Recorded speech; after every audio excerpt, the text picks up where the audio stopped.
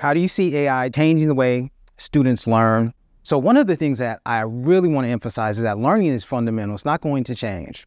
The technology, if it's created in the best way possible, will bring out those possibilities in how students learn. So there's three things I want us to really consider. The first is the psychology of learning. As a teacher, I always want to motivate my young people to believe that they can do it. If AI is not programmed to serve as a psychological tool to empower young people, then it, it won't really be able to meet its potential.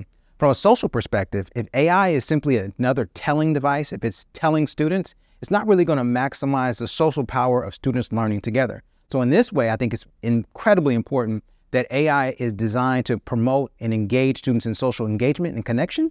And finally, the very simple process of cognitive understanding. We need students to explain, to argue, to make sense of it for themselves. And AI has to be programmed not as a teller or sharer of content, but as a promoter of students' thought, engagement, and analysis.